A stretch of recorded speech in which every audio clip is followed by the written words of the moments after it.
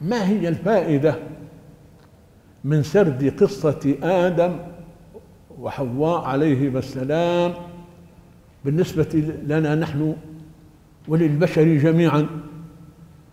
فيها فائدة كبيرة وهو أن على البشر أن يتذكروا دائما ما حدث لأبويهم آدم وحواء على يد إبليس لعنه الله.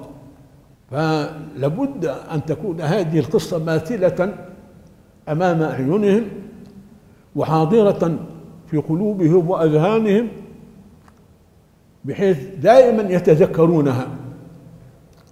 ولا بد أن تحدث فيهم تلك الحسرة وذلك الأسف وذلك الألم على ما أصاب أبويهما من من جراء غواية إبليس عليه اللعنة. وأيضا على أن يكون دائما أن هذا الذي أغوى الأبوين وخرجهما من الجنة وفعل فيهما ما فعل يجب أن يكون عدوا لكم أيها البشر ما دام هناك بشر على وجه هذه الأرض. وهذه حكمة عظيمة. لذلك جاء عداوة الشيطان في كثير من الآيات. إن الشيطان لكم عدو فاتخذوه عدوا. إنما يدعو حزبه ليكونوا من أصحاب السعير أفتتخذونه وذريته أولياء من دوني وهم لكم عدو؟ بئس للظالمين بدلا. إن الشيطان كان لكم عدوا مبينا.